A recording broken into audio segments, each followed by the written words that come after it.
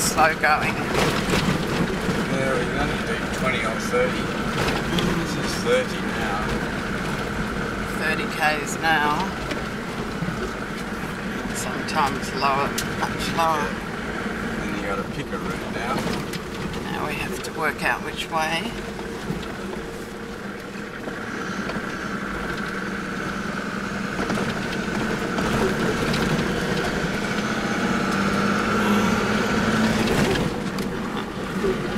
Was a relatively short section of rock. Now we're back on a bit of a clay pan again. We might get up a little bit faster. Not that it's a winning game. Anthony's out of sight ahead of us. We think this might be one of Anthony's survey towers. Um, it looked quite large on the horizon. We thought we might be coming up to another um, telecom one, but it's actually quite little and it's got three birds' nests. Back onto the ordinary, ordinary road. Neither clay pan nor too stony. It's not too bad. You just have to be alert.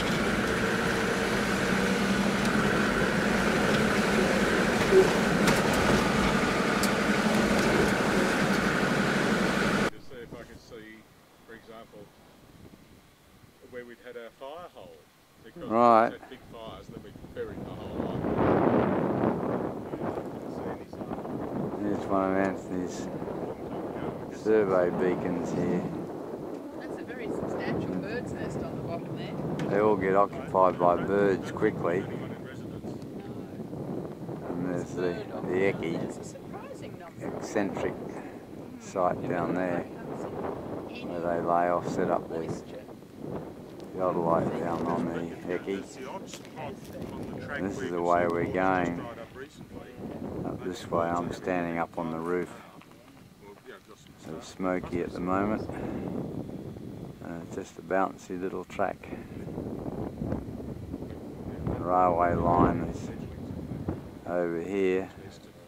You can line up the railway with the horizon. The horizon is as flat as the, the railway.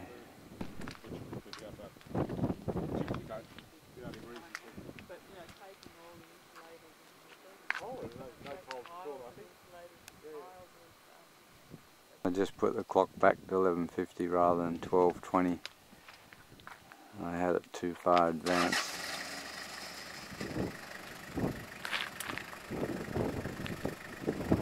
We're off again to the horizon in the distance.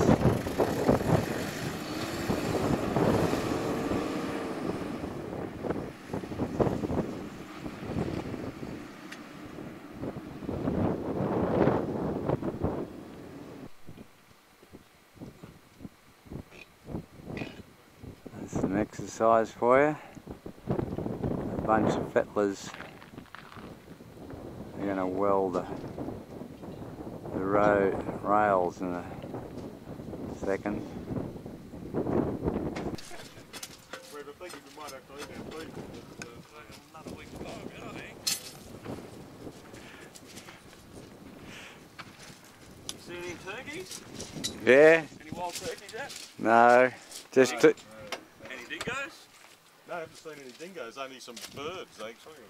Some, uh, what's his name, kestrels and things, what's your other little thing? No, I haven't seen any dingoes or, saw some camel pads yesterday, but didn't see a camel. usually camel back to sandhills. 60 kilo. With that stimulus that Mr. Rudd gave everybody. Yep. Oh, always playing with government. So what's 60 kilos? 60 kilos per foot or something? Hard meter. Per metre. Yeah.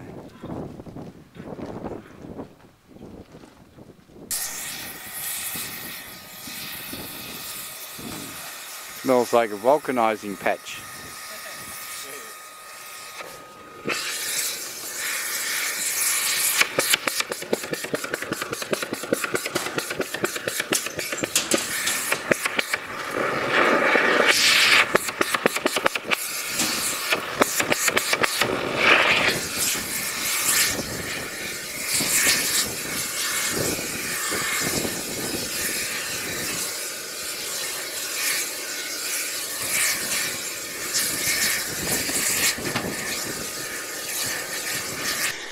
Like they've been driving in new wedges all the way along here.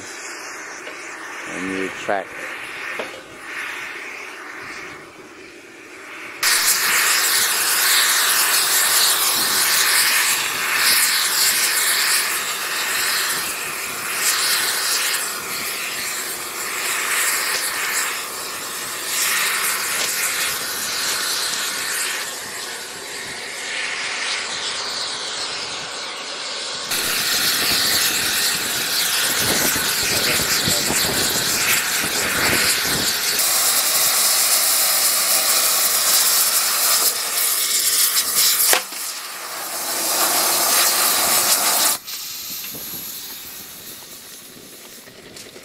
There's all liquid welding stuff. And it's very bright. Liquid metal. My goodness.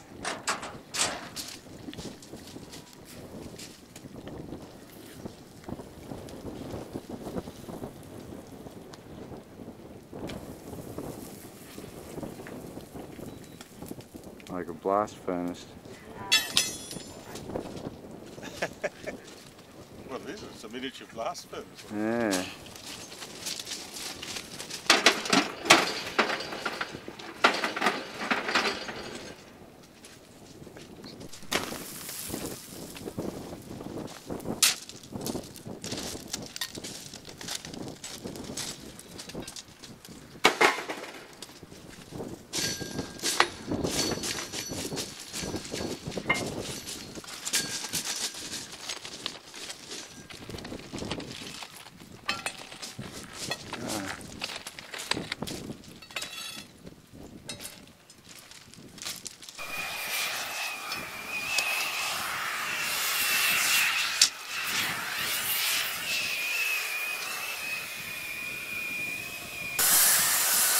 Cutting that, Cutting it through.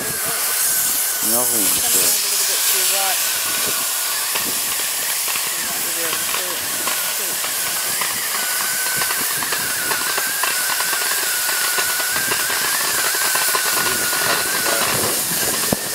Melting it. There it is.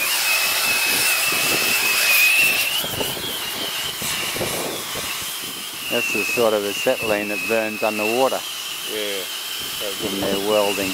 Amazing, isn't it? Yeah, it's just the extra oxygen that does the cutting. So when the metal's cut, it oxidize. And then away. Cutting the head is, uh, a little bit, a little bit more work, uh, a little bit more And the tools are lighter. You know, if you have a saw, you have to clamp it on the rail. And this way, you just do it with the hand very quick.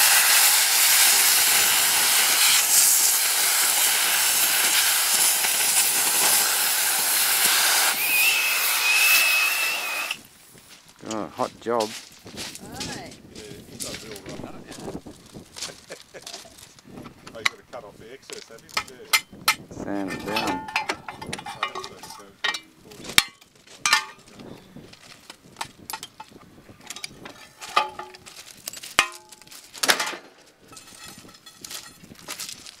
That's the case that all the weld is poured into.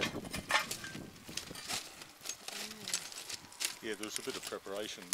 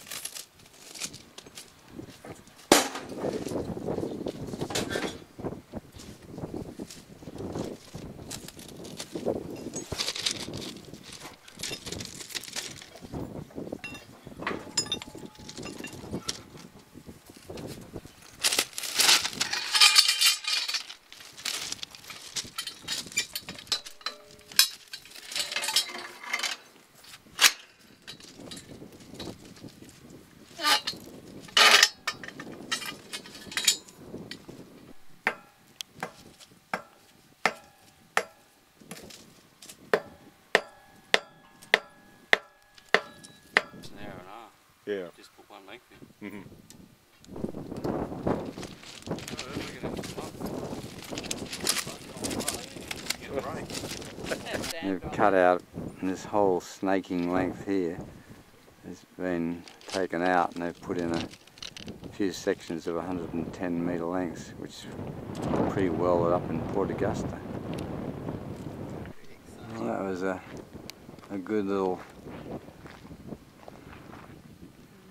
nice bit of activity on the railway line. See how it's done. All rust now.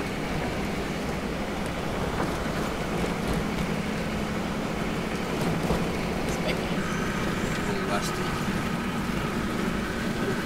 all rust. Be interesting to see how much of that's getting into the trailer. We are shipping a weeny bit of dust in spite of the new seal. The new seal's a bit flattened in the bottom corners. We're driving through really deep, thick bull dust. The car is covered in dust for lunch.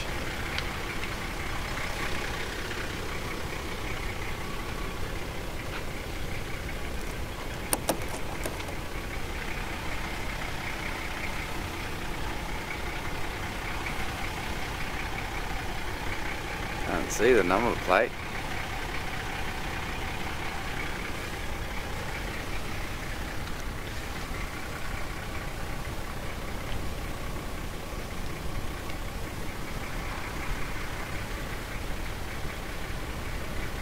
Been making huge clouds behind us Since the fettlers, just deep dust all the way mostly, hardly a stop.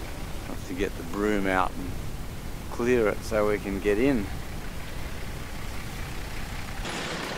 Just driving into driving into Cook now. There's a train coming through to the east. He's going to have to stop somewhere. I have to Google satellite control refrigeration. Some of those vans have on their front.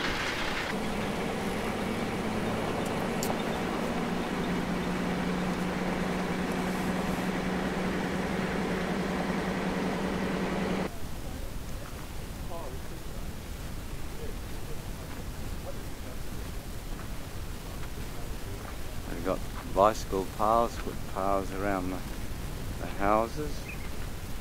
Here's the little sign. If you're cook, come to cook.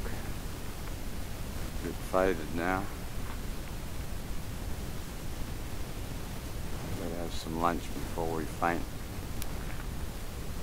Sing Australia is going to give a little concert here later on. The railway workers have really held up the road. Know,